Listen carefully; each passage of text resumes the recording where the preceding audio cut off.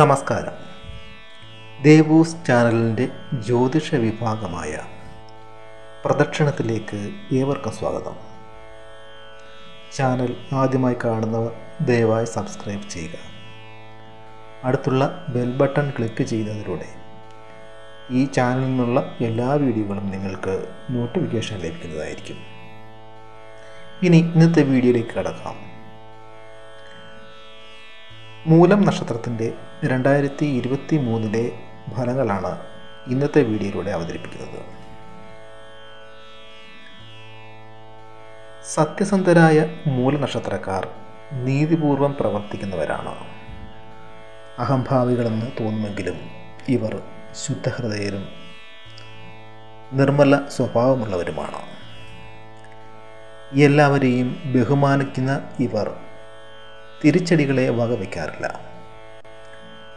അതിബുദ്ധിയുള്ളവരും സംഘടനാ മികവ് ഉള്ളവരുമാണ് ഈ നക്ഷത്രക്കാർ. ഏത് തൊഴിലിലും തിളങ്ങുന്ന മൂലനക്ഷത്രക്കാർ സ്വന്തം അധ്വാനത്തിലൂടെ ഉയർച്ചെലുത്തുന്നവരായിരിക്കും നല്ല ആകർഷണീയതയുള്ള ഇവർ തികഞ്ഞ സമാധാനപ്രിയരുമായിരിക്കും. സാമ്പത്തികമായി പരാജിതരായ ഇവർ വലിയ ഉദാരമതികളാണെന്ന് തോന്നുമെങ്കിലും സത്യത്തിൽ അങ്ങനെയായിരിക്കുകയില്ല ഏത് രീതിയിലും സുഖം അനുഭവിക്കണമെന്നുള്ള വിചാരക്കാരായ ഇവർ.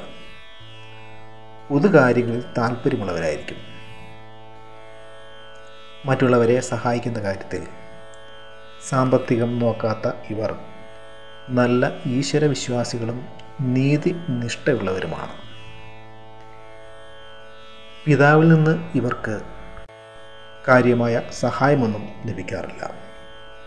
വലിയ സ്വതന്ത്ര ചിന്താഗതിക്കാരായ മൂലനക്ഷത്രക്കാർ സ്വന്തം ഇഷ്ടപ്രകാരം ചെയ്യാൻ താല്പര്യം ഏറിയവരാണ്. ഇവർ മറ്റുള്ളവരെ ഉപദേശിക്കുമെങ്കിലും സ്വന്തം കാര്യങ്ങളിൽ അതൊന്നും വെച്ചു പുലർത്താറില്ല എന്നതാണ് സത്യം. പണം ചിലവാക്കുന്നതിൽ ഒട്ടും തന്നെ മടി കാട്ടാത്ത ഈ നക്ഷത്രക്കാർ പെരുമാറ്റത്തിൽ ചാബല്യവും അസ്ഥിരതയും കാണിക്കുന്നവരാണ്. മറ്റുള്ളവർക്ക് നന്മ ചെയ്യാൻ ആഗ്രഹിക്കുന്നവരാണ് മൂലനക്ഷത്രക്കാർ. വരവിൽ കവിഞ്ഞ് ചിലവാക്കുന്ന ഇവർ നയശാലികളാണെന്ന് തോന്നുമെങ്കിലും സ്വന്തം കാര്യത്തിൽ അത് പ്രായോഗികമാക്കാറില്ല. നിയമവ്യവസ്ഥകളെ അംഗീകരിക്കുകയും അത് നടപ്പാക്കുകയും ചെയ്യുന്നവരാണ് ഇവർ. ഇനി രണ്ടായിരത്തി ഇരുപത്തി മൂന്നിലെ മൂലനക്ഷത്രക്കാരുടെ ഫലങ്ങൾ നോക്കാം. മൂലനക്ഷത്രക്കാർക്ക് ഏറെക്കാലമായി അനു നേരിടേണ്ടി വന്ന ഏഴര ശനിയിൽ നിന്നും മോചനം ലഭിക്കുന്നതിലൂടെ ഈ വർഷം ജീവിതത്തിലുടനീളം ഇവർക്ക് നല്ല മാറ്റങ്ങളാണ് ഉണ്ടാകുന്നത്. ശനി മൂന്നാം ഭാവത്തിലേക്ക് വരുന്നതിലൂടെ വർഷ മധ്യത്തോടുകൂടി നല്ല ജീവിത നിലവാരത്തിലേക്ക് എത്തിച്ചേരുവാൻ സാധിക്കുന്നതാണ്. ഗൃഹനിർമ്മാണം പൂർത്തിയാകുകയും സന്താനങ്ങൾക്ക് ജോലി ലഭിക്കുകയും ചെയ്യുന്നതാണ്. വളരെ കാലമായി സ്വന്തമാക്കാൻ ആഗ്രഹിച്ചിരുന്ന വാഹനം സ്വന്തമാക്കുന്നതിലൂടെ ആത്മനിർഭരത കൈവരുന്നതാണ്. വിദേശത്ത് പോകാൻ ആഗ്രഹിക്കുന്നവർക്ക് അത് സഫലമാകുകയും സാമ്പത്തിക നേട്ടങ്ങളുണ്ടാകുകയും കാർഷിക മേഖലയിൽ പുരോഗതി ഉണ്ടാകുകയും ചെയ്യുന്നതാണ്. മുടങ്ങിപ്പോയ പല കർമ്മ പദ്ധതികളും മുൻവർഷങ്ങളിൽ പൂർത്തീകരിക്കാൻ സാധിക്കാതിരുന്ന പല പദ്ധതികളും ഈ വർഷം പൂർത്തീകരിക്കാൻ സാധിക്കുന്നതാണ്. സർക്കാരിൽ നിന്നുള്ള സാമ്പത്തിക സഹായം ഇവർക്ക് ഈ വർഷം ലഭ്യമാകുന്നതാണ്. രാഷ്ട്രീയക്കാർക്കും സാമൂഹിക രംഗത്ത് പ്രവർത്തിക്കുന്നവർക്കും ചില പ്രതിസന്ധികൾ ഉണ്ടായേക്കാം. വരുമാന സ്രോതസ്സുകളിൽ വർധനവുണ്ടാകുന്നതിലൂടെ അധിക ചെലവുകളെ തരണം ചെയ്ത് മുന്നോട്ട് പോകാൻ സാധിക്കുന്നതാണ്. ബന്ധുജനങ്ങളിൽ നിന്നും നല്ല സഹായങ്ങൾ ഇവർക്ക് ലഭിക്കുന്നതാണ്. വിദ്യാഭ്യാസത്തിൽ പുരോഗതി ഉണ്ടാകുന്നതാണ്. മത്സര പരീക്ഷകളിലും മറ്റും ഉന്നത വിജയം നേടാൻ മൂലനക്ഷത്രക്കാർക്ക് രണ്ടായിരത്തി ഇരുപത്തി മൂന്നിൽ സാധിക്കുന്നതാണ്. പുതിയ പുതിയ സൗഹൃദങ്ങളിൽ ഏർപ്പെടുകയും ജോലിയിൽ സ്ഥാനക്കയറ്റം ഉണ്ടാകുകയും ചെയ്യുന്നതാണ്. തൊഴിൽ രംഗത്ത് ഉന്നതമായ പദവികൾ അലങ്കരിക്കാനുള്ള യോഗം കാണുന്നുണ്ട്. മികച്ച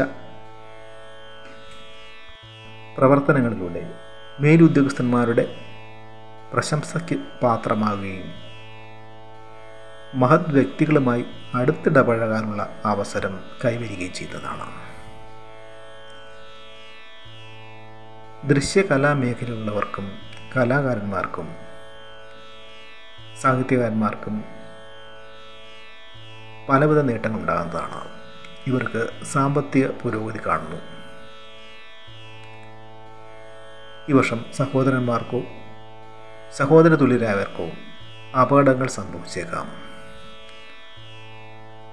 ബന്ധുജന വിയോഗം നേരിടേണ്ടി വരാം.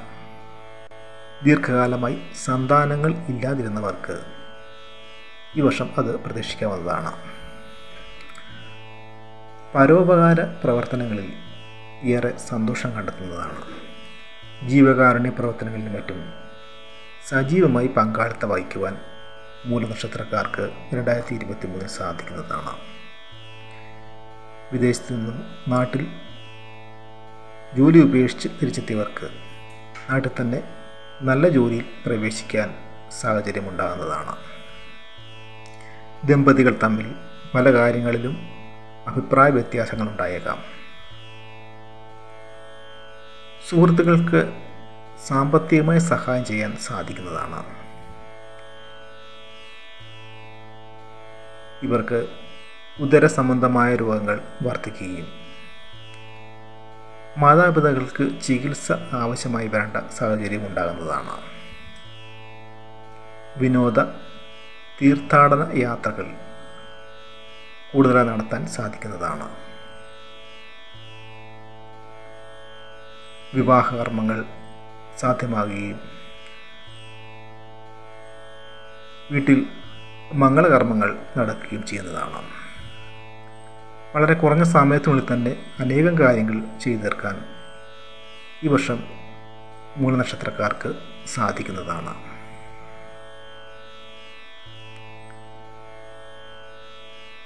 മൂലനക്ഷത്രക്കാർ ചൊവ്വ വ്യാഴം സൂര്യൻ എന്നിവരുടെ ദശാകാലങ്ങളിൽ വിധിപ്രകാരമുള്ള ദോഷപരിഹാര കർമ്മങ്ങൾ അനുഷ്ഠിക്കേണ്ടതാണ്.